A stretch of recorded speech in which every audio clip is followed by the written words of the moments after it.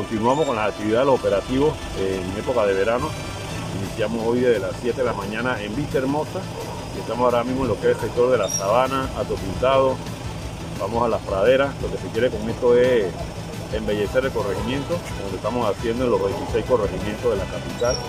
Y hemos aprovechado hoy trayendo retrocavadoras, camiones volquetes, nuestras hormiguitas, personal de recolección, carros, rejillas, estamos fumigando y cortando el césped. Eso lo estamos haciendo de una manera mancomunada con la Junta Comunal de Pueblo Nuevo. Oiga, las personas eh, colaboran eh, sacando sus enseres y todos los artículos que tengan, pues que eh, tienen que votar, ¿no? Sí, correcto. Lo que se busca con esto es aprovechar, como lo dije, la época de verano y no estar sacando los enseres cuando viene la época de lluvia, ni estarlos tirando en los ríos, en las quebradas.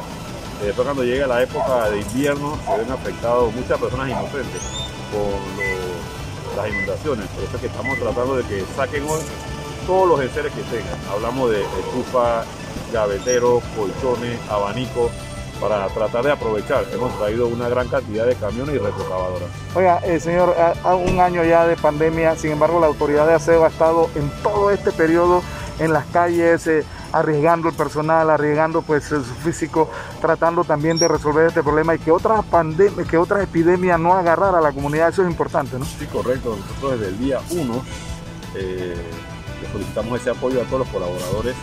Si bien es cierto, muchos tuvieron que estar en casa por un tema de, edad, por tema de enfermedades, pero eso no fue impedimento para que la autoridad de aseo estuviera brindando eh, ese trabajo, esa responsabilidad que tenemos de estar recogiendo la basura orgánica, la basura vegetal, los enseres, arriesgando también la vida, porque nuestros colaboradores que han arriesgado su vida, lastimosamente hemos tenido 11 defunciones, donde una sola, eh, un solo funcionario adquirió el COVID, sí, en horas laborales, los demás han sido de casa, pero no nos hemos escapado nosotros a este tema de la, de la pandemia. Hemos tenido un aproximado de 331 colaboradores que han sido contagiados, gracias a Dios ya la gran mayoría están en casa, están ya trabajando, pero siempre nosotros les hemos dicho que tienen que cuidarse, que lo más valioso que tenemos nosotros son nuestros colaboradores. Oiga, al principio había una polémica con las personas que tiraban las mascarillas en la calle y eso también en su momento eh, pudo afectar a los trabajadores.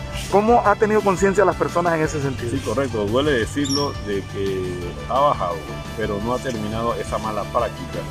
Eh, puedo mencionar que en el día de hoy Estamos aquí en Pueblo Nuevo. Ayer que estuvimos en Chilibre, cuando hicimos los operativos, lo primero que encontramos en la calle y en los parques son las mascarillas. Por eso siempre recalcamos y mandamos ese mensaje a toda la ciudadanía de que tenemos que dejar esa mala práctica de estar lanzando la mascarilla porque se ven contagiados funcionarios, colaboradores de la autoridad de aseo. Hablemos de la hormiguita, hablemos de los recolectores, que encuentran a diario esa gran cantidad de mascarillas tiradas en la parada de los autobuses, en los parques, en la calle, en la